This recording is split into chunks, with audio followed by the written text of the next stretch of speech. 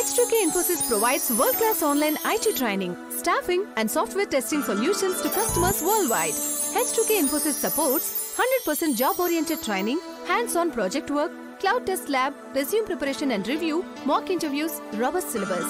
One-time pay, lifetime access to live classes and videos. H2K Infosys has won the trust of thousands of students worldwide. For free demo class, visit h2kinfosys.com. if somebody sees this if this test case fails developer has to repeat the steps which are mentioned here. So so that you have to mention it very clearly. So so you have to tell uh, the developer like whatever you're writing here should help. So to uh, navigate to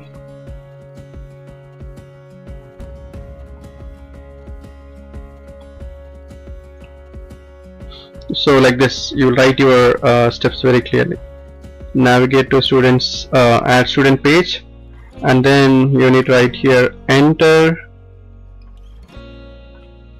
student's name and then fourth step alt enter fourth one enter student's address alt enter fifth step click on save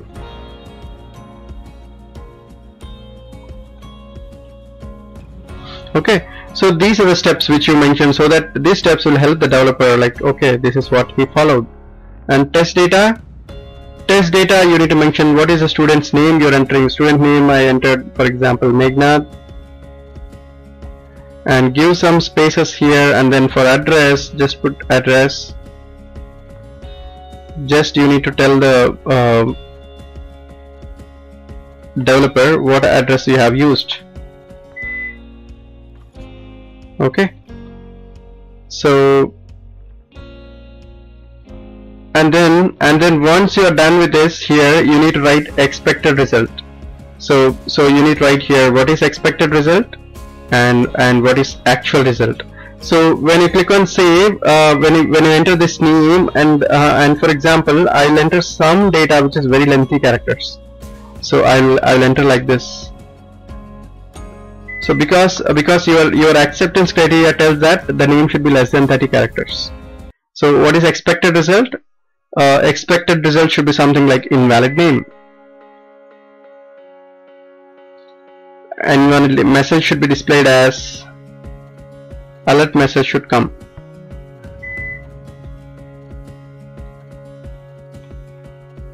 Should be displayed as uh, name should be less than 30 characters.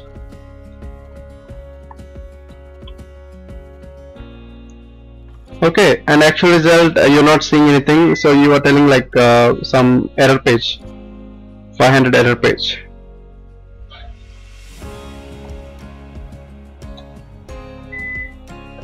And what do you do here? You will put it as failed.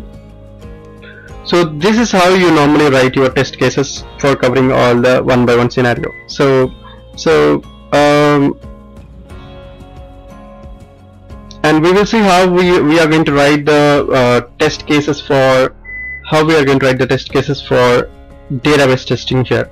So even even for database testing uh, while clicking on save you don't have anything uh, if you want to display any alert message. So this is completely driven in the UI in the user interface. See this when the user enters a, a string like this when the user enters a string like this so you are validating this in the user user interface code. So you're not validating in the database. Okay so in that case um, your database test case will not impact here will not come here will not play much role here. Okay but when you are entering valid data and if you want to verify in the data uh, database for example you don't have this screen the second screen you don't have or not yet built. So in that case you should uh, we will know how to do database testing. Okay. So anyway for today uh, all you should know is so you should be clear on uh, what is uh, what is the use of version version number and how to write these columns whatever we, we are seeing now. Test case id test case name precondition uh, test case description test steps test data, expected result, actual result and pass or fail. So, so and one more thing I got a question like do you write for valid or invalid here? So this one is for invalid scenario. So whatever you see here is this name is invalid because it should be less than 30 characters. So this is called invalid scenario so we also test for three scenarios. One is valid scenario other one is invalid scenario and the other one is exception scenario. So which I'll be covering now. I just I mean lost power in my home. Um, okay that's that should be fine. You might hear some beep sounds for some time. So anyway. So is it clear whatever we discussed so far? Or previously it was good now now this is not good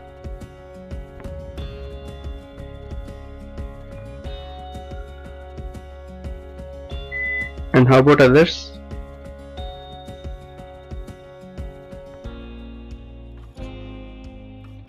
Uh, Meghnath, one small question. yeah Yeah, for the version number, so Yeah. in one application there is many documents, right?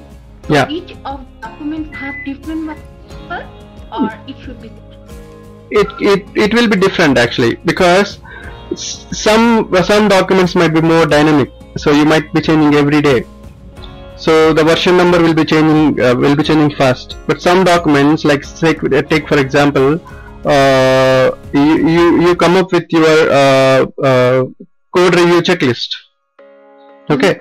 So code review checklist is something like which will not be modified frequently. Will be modified only once in a year or once in six months.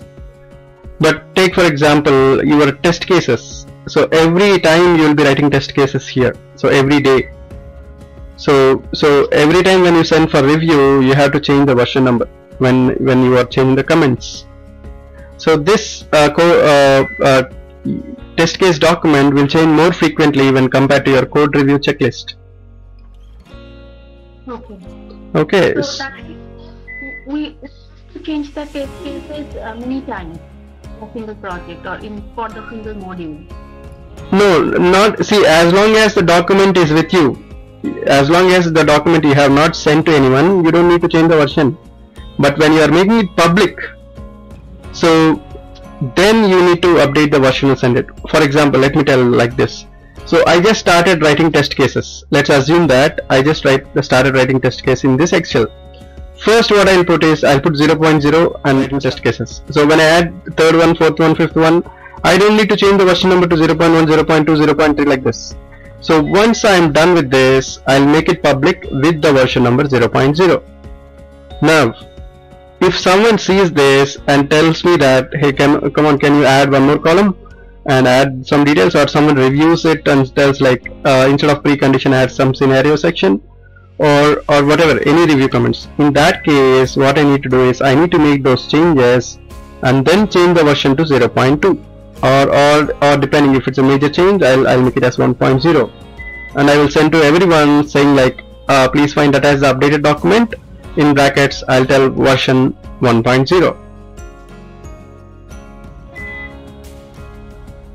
okay? Yes, yes, I got it. okay. So um I'm I'm actually coming up with a PPT uh, uh, to cover properly. So we'll do one thing. Uh, in the next class, I'll discuss with the PPT with all the details. So for now, um, uh, for those who missed it, I think we have uh, 15 minutes or 20 minutes. So for those who missed the previous exam, uh, please take this link and and then you can proceed proceed on this. And for in the next class, we'll discuss on we'll discuss more on writing test cases and how do we test how do we do uh, database testing? We'll continue. Okay? So um, I'm just pinging the link again for those who missed it can take the exam. Uh, try to complete it uh, within one hour. Okay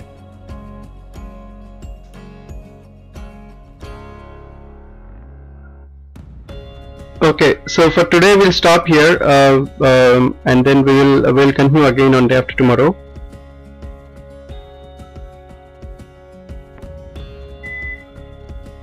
Okay i got a question saying like before testing what are all the data data setup needs to be done? So before testing what are all the data data setup needs to be done?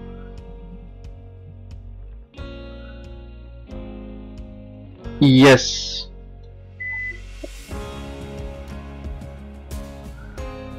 it is it is same like I mean you will know what are what uh, test cases you need to give right? So so that should be fine. So we need to do some uh, we need to have some mock data yes. Okay. Okay. So anyway so in the next class uh, we'll try to have uh, we'll try to discuss more on this. So I'm stopping here. Um, we'll continue at uh, we'll continue next class. Okay we're stopping bit early. Um, but next class we'll have it we'll continue it for uh, one hour. Any questions here